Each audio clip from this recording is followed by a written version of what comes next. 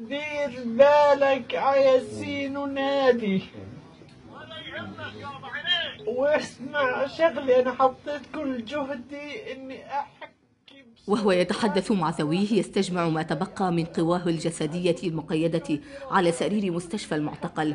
الصحفي الأسير محمد القيق الذي لا يعرف موعد الحرية ولا سبب الاعتقال.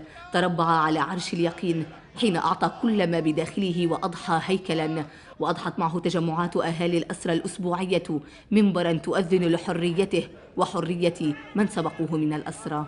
محمد القيق اللي له 77 يوم مضرب عن الطعام لكن بإذن الله تعالى زي ما انتصر خضر عدنان من قبله بإذن الله تعالى لغير ينتصر. ما إن تدهور الوضع الصحي للقيق إثر خوضه إضرابا عن الطعام منذ شهرين ونصف.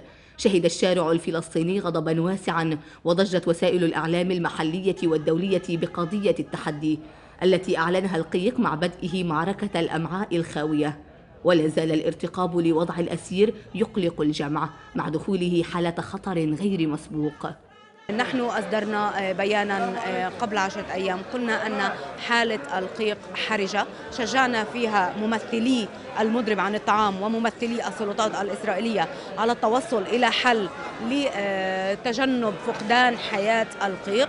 فثمة من يقول ويرى أن تعنت الاحتلال الإسرائيلي ورفضه الإفراج عن القيق مع تصاعد النداءات المطالبة بإطلاق سراحه من المؤسسات الحقوقية والصحفية وعامة الناس ما هو الاستخفاف وتجاهل بطريقة مثلى لكل أوراق الضغط خاصة مع استمرارها ممارسة التغذية القسرية على الأسير داخل المستشفى.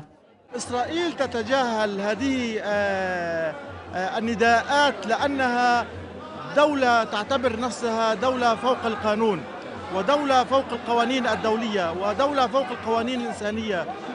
على بعد مرمى حجر من اللحظات الأخيرة بات مصير محمد القيق.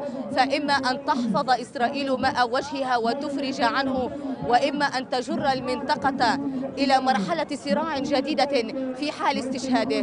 من أمام مقر اللجنة الدولية للصليب الأحمر إسلام الزعنون تلفزيون فلسطين.